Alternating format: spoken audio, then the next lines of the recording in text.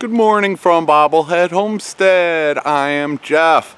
Today is Wednesday. It rained pretty much all night. I've got a little bit of water back in that pond. And I have to get to the post office before it closes.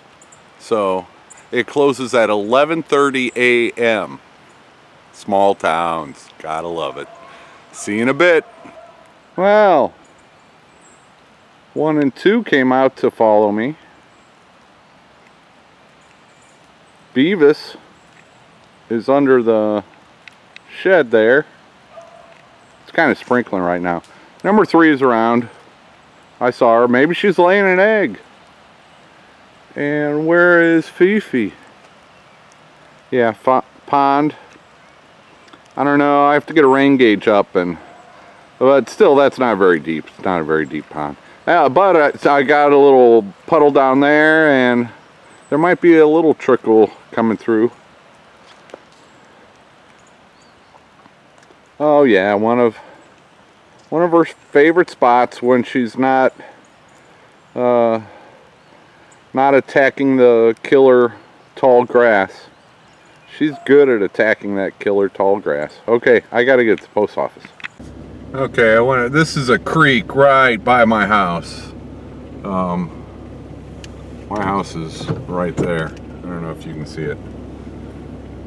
But I'm almost to my mailboxes. But that has been dry every day since I got here in October until that, that last rainfall.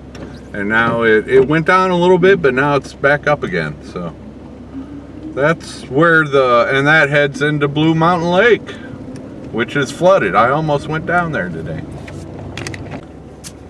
Okay, yeah, here's my property. And that's basically where my mailboxes are. That is the Ouachita National Forest. I mean, I'm 10 feet away from me right now is the Ouachita National Forest. Just cool.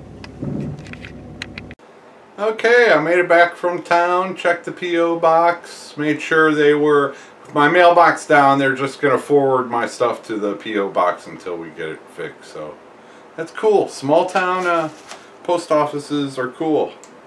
And I got some fan mail from Texas. I love, I love getting fan mail. Yeah, this is a great postcard. Thank you. Thank you. I, things always bring a smile to my face. And I ordered some stuff. Um, my sister gave me a little investment money to uh, get seeds started. And there were some supplies that I really needed uh, to get going with that. I have no idea what this is. I don't think I ordered this. That's the beauty of these P.O. boxes. Sometimes Oh. Oh. Yeah, I didn't order this. This is a Crescent brand nail puller extractor. Uh, oh, this is wonderful. And it, yeah. Thank you. Thank you, thank you. See if there's a note. This is one of my favorite tools to help pull nails out of reclaimed lumber. I hope it helps with your projects. From Autumn Girl Acres. That's very thoughtful. Very thoughtful because, well, I had those three pallets in one and instead of, uh, there were like I, there were 24 nails to get one of those pallets off there so I just sawed it. Um, but this will make that job a lot easier. And I am gonna, yeah, this is just incredible. Very thoughtful, very useful. And I will put this to work. Cool. I thought that was, well, I'll show you that in another one. Okay, now, now I got a big box. I'm trying to get my videos under 10 minutes. Sometimes it works, sometimes it doesn't. There's just so much going on at Bobblehead Homestead. Okay, yeah, a 10 pack of seed starting trays and um, no holes, exactly what I needed. This is what I ordered. And, oh, hey, they sent me a free catalog. Greenhouse Megastore. Danville, Illinois. So that's hysterical. Danville is, uh, when I was living in Mahomet, the Champaign area, you know, Danville's only like an hour away or something. So, yeah, boom, needed that. I needed that to get started on my seeds. Okay, and this one I'm not sure about. And this is, oh, this is perfect. Okay, uh, and a great note, but this is seed starting mix. I believe it's, it's got to be coco coir, right? Yeah, made from renewable coco coir. Oh, and these things expand like crazy. And uh, the note says to mix them with, uh, you know, vermiculite and, well, I'll, I'll probably show you that in tomorrow's video. So, this is from Todd at A View from the Woods.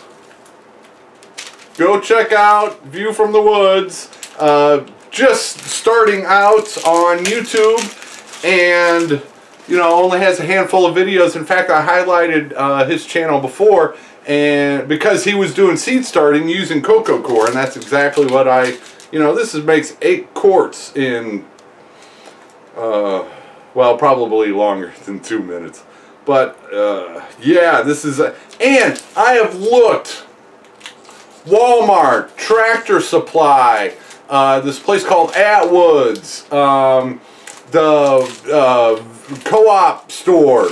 Nobody had coco coir, so I was going to have to order it online, and uh, I might still order a big, uh, a big old bale of this. But awesome. Okay, is that it for the? That's it. It's still raining.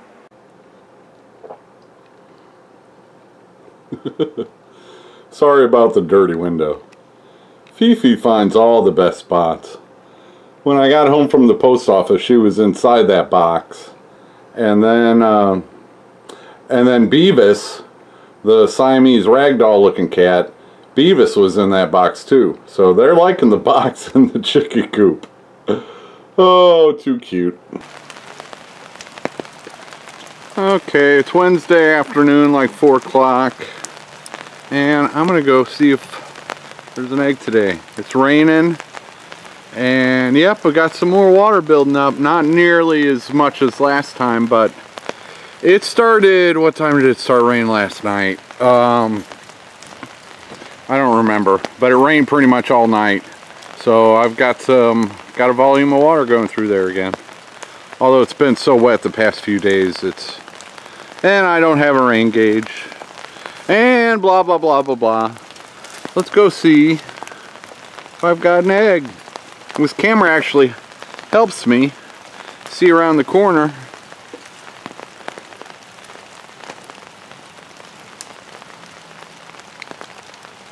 and yes we do. We've got an egg. So that means I found him Friday. I got an egg Saturday, no egg Sunday. I got an egg Monday, Tuesday, and now an egg Wednesday. So, and this one looks smaller than the others with a different shape. So I think I've got two lens I, laying. Well, I caught number three in the act. Well, basically. And I've heard number one do the song. So I think number one and number three are laying. Not sure about number two yet. But what... Alright, it's raining. I'll grab the egg and go in.